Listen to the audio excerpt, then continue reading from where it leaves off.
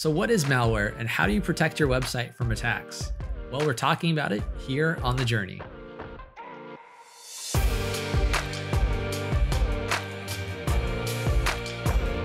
Have you ever been in a situation where you wondered how to get rid of malware on your website? If you haven't, you're one of the lucky ones. According to statistics, 75% of small business websites are at risk for cyber attacks, which means online security is more important than ever. And as such, monitoring your website and ensuring proper security measures are in place is crucial. So, in today's video, we're going to talk about how malware finds its way to your website.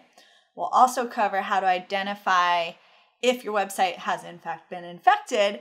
And then lastly, we'll talk about how to get rid of malware on your small business website. We're covering it all. So let's kick things off, Neely. What is malware and how does it infect your website? Well, malware is a pretty broad term and it refers to malicious software created and used by cyber criminals for the purposes of extorting money, stealing identities, hijacking websites, damaging softwares, and just other illegal activities. Malware comes in many shapes and forms, such as viruses, worms, adware, spyware, Trojan, keyloggers, and more. All those just sound terrifying. But malware is usually distributed in a couple different ways, either through phishing emails that contain suspicious links or attachments, visiting malicious websites, manipulation of source code and themes or templates, disguised in plugins. Uh, it's pretty popular on WordPress. Uh, not reputable plugins, but out of date ones, drive by downloads, brute force attacks, and unfortunately, so much more. So let's talk about cyber criminals. Now, cyber criminals can target your hosting company to distribute malicious files, or they can target random websites as well as your own personal computer. So once you have a virus on your computer, it can easily infect your website. And unfortunately, you can unknowingly infect your website by uploading files containing malware to your site. Uh, another way to compromise your site is by logging in while your computer has been infected with a keylogger, thus granting access to hackers. So, this all sounds pretty scary, but how do you actually identify malware? Before you really figure out how to remove malware, you need to be able to identify it. And this is not easy as it's often hidden in different files on your site. Uh, but there are some warning signs that you can be on the lookout for that can help you recognize when your site has been infected. Uh, a couple things you can look out for is your website doesn't display any of its usual pages. Instead, it displays graphics signed by the hacker. This is known as website defacing.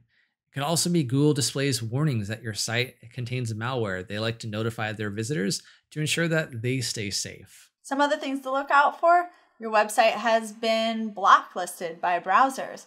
Also, your hosting company disabled your site. Yikes. Uh, in addition to that, your website is loading slowly. Also, a potential sign. And your customers or clients might be complaining about the drastic increase in strange emails. Oof, coming from your own domain's email address. And when you visit your site, you and your visitors are redirected to a third party website with suspicious or usually inappropriate content. You can also see strange ads on the front of your site that just don't make sense to be there in the first place. Or you notice new and unusual files or folders.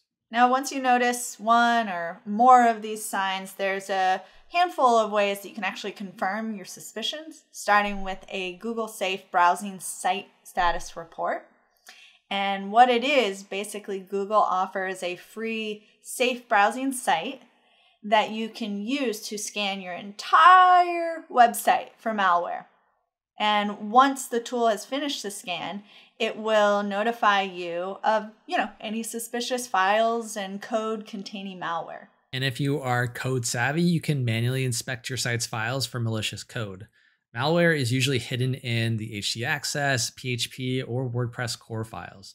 It could also be in just random HTML or just scripts in general. But files containing malicious code will usually have lines of code encoded in base64 format. Basically, it's encrypted code that it, when you look at it, it's just a long string of characters, But unencrypted, it's doing a lot of bad stuff for your visitors. And the third option that you have for detecting malware on your site is actually GoDaddy Website Security. And this is a tool that offers basically a malware scan on all plans for unlimited number of pages on your site.